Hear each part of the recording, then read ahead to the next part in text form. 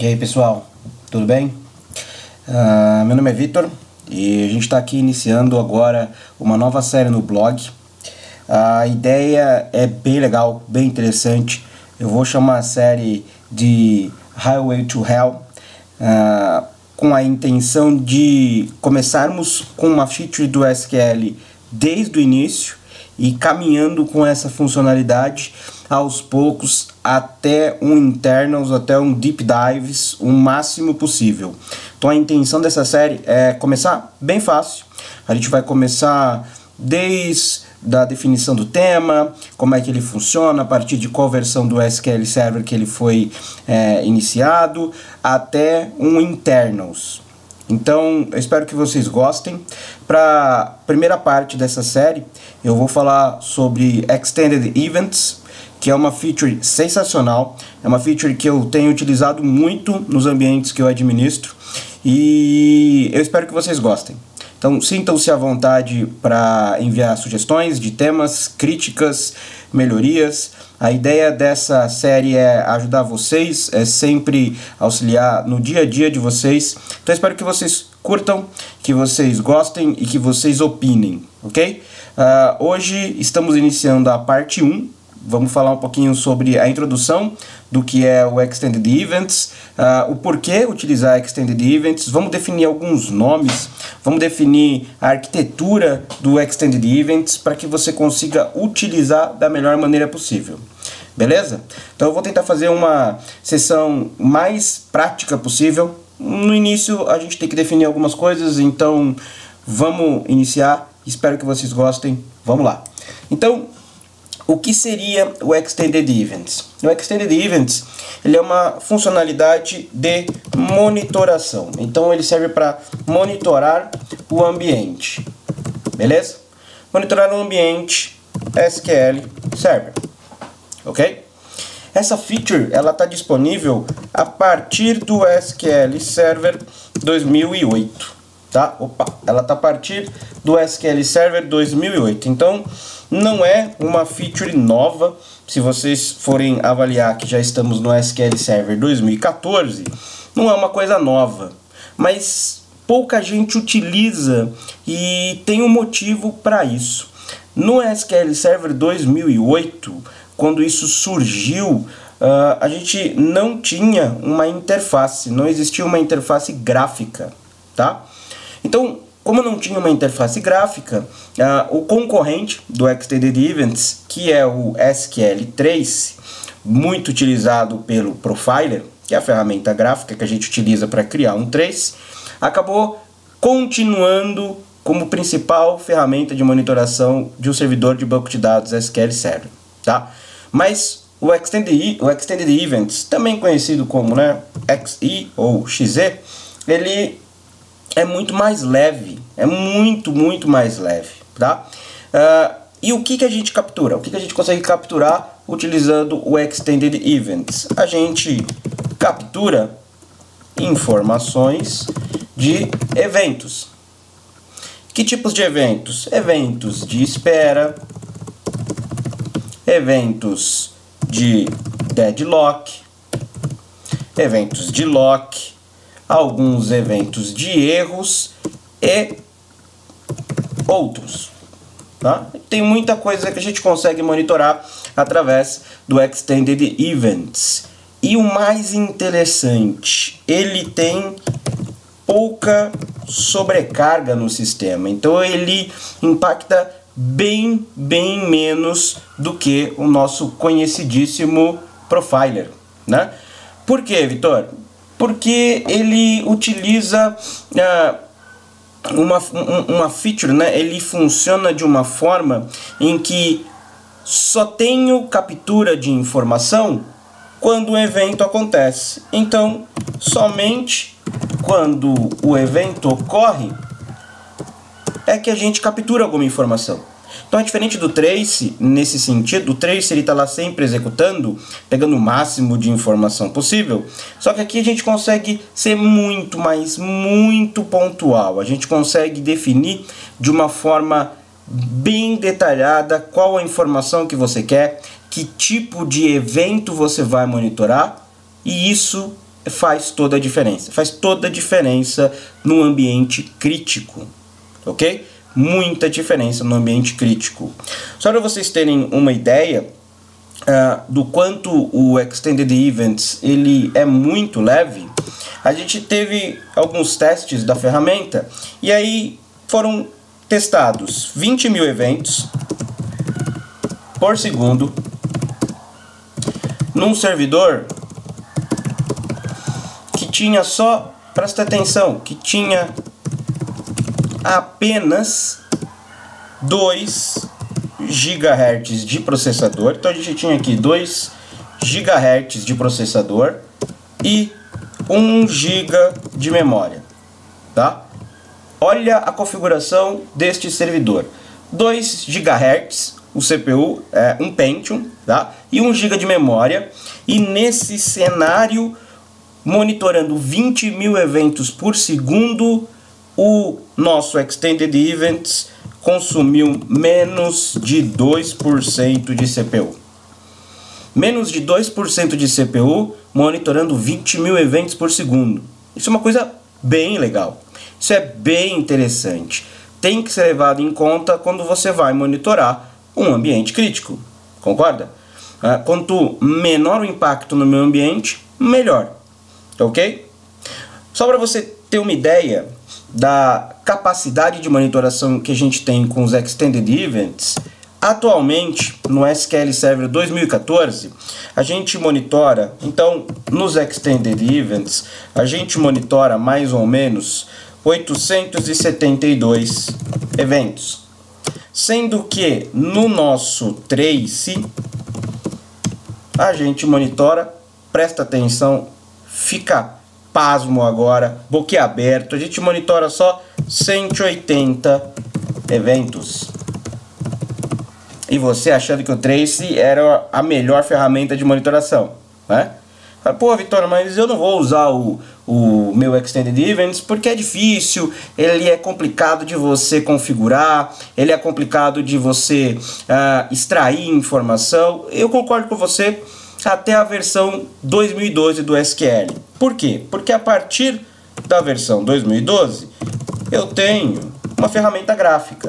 Então no SQL Server 2012 a gente ganhou, a Microsoft ela prestou mais atenção nessa funcionalidade e a gente ganhou uma interface gráfica, né? uma user interface, que é muito, muito, muito melhor para você conseguir trabalhar. É muito mais tranquilo, é muito mais fácil, tanto para você criar o seu trace, quanto para você conseguir monitorar o resultado. Uma análise bem detalhada, bem crítica. Falou, Vitor, não, não estou ainda satisfeito, eu prefiro usar o meu profiler, eu já tenho ferramentas lá. Ok, então mais uma vantagem para você pensar em começar a utilizar os Extended Events. Só no Extended Events é que a gente tem funcionalidades para monitorar, a gente consegue monitorar eventos, por exemplo, do famosíssimo In Memory, do nosso querido always on.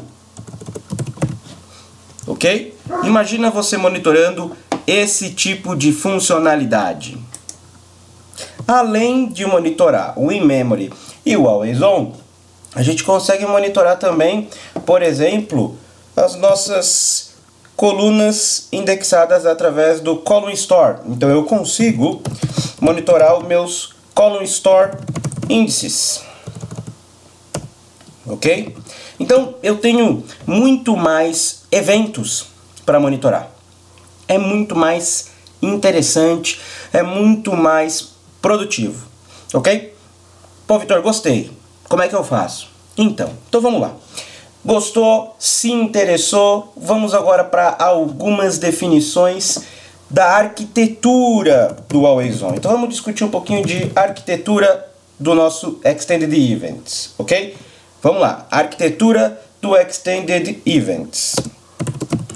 Tudo começa com o que nós chamamos de uma session, ok? Uma session é equivalente ao server side 3. Ô, Vitor, como assim? Uma session ela é equivalente a uma sessão de monitoração do nosso profiler. Então, dentro de uma session, o que, que eu tenho? Dentro de uma session, você define o que você vai coletar, você define quando a gente vai coletar alguma informação, a gente define onde armazenar essa informação coletada e também qual ação a gente executa quando a nossa monitoração iniciar. Ok? É assim que a gente starta, que a gente inicia uma monitoração através dos Extended Events. Começamos com uma session, beleza? Dentro de uma session, eu tenho um evento, beleza? Eu tenho eventos. Ok, o que seriam os nossos eventos? Um evento, ele é um ponto específico dentro do código-fonte do SQL. Então, um evento é um ponto específico dentro do código-fonte. Ah, poxa, Vitor, não, não estou entendendo. Um evento, eu diria para você, é o que você quer monitorar. Ok? Qual o evento? O que você quer descobrir quando acontecer alguma coisa dentro do SQL? Isso é um evento. Por exemplo, eu quero descobrir mais informações sobre o evento de bloqueio dentro do SQL Server. Então, a gente inicia com uma session e dentro dessa session a gente escolhe uma quantidade de eventos disponíveis. OK? Como eu já disse anteriormente, agora nós temos 872 eventos. A cada nova versão do SQL Server, novos eventos são incluídos. OK? Uma coisa interessante para vocês sobre os eventos. Uh, a gente não pode criar um evento nosso. Então a gente não pode criar eventos, porque os eventos eles estão dentro do código fonte do SQL. Então não podemos criar eventos. OK? Outra informação interessante sobre os eventos é que a verificação do evento ela é síncrona. Poxa, Vitor, o que, que significa uma verificação de evento ser síncrona? Uma verificação de evento ser síncrona significa que se você iniciar uma consulta, uma atualização e essa consulta, atualização, exclusão startar um evento dentro do seu processo de transação, o SQL captura a informação e depois ele finaliza. Então, isso pode impactar a performance? Olha, eh, na teoria, sim. Mas como a implementação dos Extended Events ela é muito bem feita, a gente não tem esse tipo de problema. Ok? É muito leve, é muito tranquilo, mesmo sendo síncrona, a gente não tem problema com essa monitoração. Eu já utilizo há algum tempo e não tive em nenhum momento problema de performance com os Extended Events, ok? É claro que se você não tomar cuidado, se você criar uma sessão de Extended Events monitorando uma quantidade absurda de eventos, ah, nós podemos ter problemas de performance. Da mesma forma que se você startar um profiler monitorando uma, uma quantidade excessiva de eventos sem filtro, também podemos ter problema, ok? Todas essas ferramentas de monitoração, elas são feitas para uma monitoração pontual. Você vai escolher qual evento você precisa monitorar de qual evento você quer mais informação e dessa forma a gente diminui o impacto no nosso ambiente. Ok? Então, continuando, nós temos dentro da arquitetura sessão, evento e nós temos um outro componente que chamamos de target.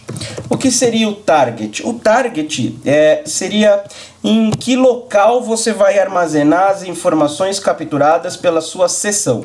Então nós iniciamos uma sessão, nós criamos os pontos de evento que a gente vai monitorar, então a gente monitora e em que lugar, em que local a gente vai armazenar essa informação. Qual é o nosso meio de armazenamento? Então, onde vamos armazenar a coleta de dados? ok? Aí nós podemos armazenar de diversas formas. Você pode utilizar o armazenamento somente em memória, você pode utilizar um contador, então a gente conta quantas vezes aconteceu um determinado evento e armazena isso dentro de um contador, ou a gente pode armazenar isso dentro de um arquivo de monitoração do Extended Events, ok? É interessante você armazenar essa informação em um arquivo para que você consiga fazer uma análise detalhada depois. Então, ao armazenar num arquivo, a gente consegue diminuir um pouco mais o impacto em uma determinada análise. A gente coleta essa informação, a gente pode parar a nossa sessão de monitoração dos Extended Events e depois, com mais calma, com cautela, gerar relatórios, extrair informação dessa nossa monitoração, ok? Então, escolhemos um target de arquivo, um target file, para que a gente consiga analisar isso depois ok? E para finalizar a arquitetura do nosso Extended Events, nós temos o que chamamos de Actions. Pô, Vitor, bacana. Então, se eu tenho uma action, ah, quando um evento acontecer, eu posso startar uma trigger. Não. A ideia do Extended Events é 100% monitoração. Então, você cria uma sessão, você escolhe qual é o evento que você vai monitorar, você define em que local essa sua monitoração será armazenada através do target e você pode, se quiser, coletar mais detalhes daquele evento que ocorreu. Isso é uma action, ok? Então, quando eu tenho uma action, o que, que a gente pode fazer? Uma action, ela ocorre quando o evento ocorrer. Então, quando o evento acontece, se eu tiver uma action presa a esse evento, essa action é disparada. E o que, que eu tenho dentro dessa action? O que, que eu posso colocar dentro dessa action? Eu posso adicionar mais colunas. Então eu posso adicionar mais colunas de monitoração. Eu posso, se quiser, fazer um processo de agregar as informações. Ok? Eu posso também, se for interessante, inserir um ponto de debug. Um ponto de debug para que a gente consiga coletar mais detalhes das nossas informações. Ok? Então, vamos voltar um pouquinho. Vamos novamente desde o início do nosso processo de Extended Events. Então eu tenho na arquitetura do Extended Events uma session essa session é o início da nossa monitoração, então começamos criando uma sessão de monitoração, que é bem parecida com o nosso trace, ok? Dentro dessa sessão nós temos eventos, certo? Dentro desses eventos, se você tiver interesse, você pode escolher uma action. Então, quando um evento acontecer, eu posso colocar uma action em resposta. E essa action é mais detalhes sobre o evento, ok? E dentro dessa sessão, composta por eventos e possivelmente por actions, você precisa escolher aonde armazenar essa coleta de dados. Ok? Tranquilos? A ideia geral do nosso Extended Events é essa.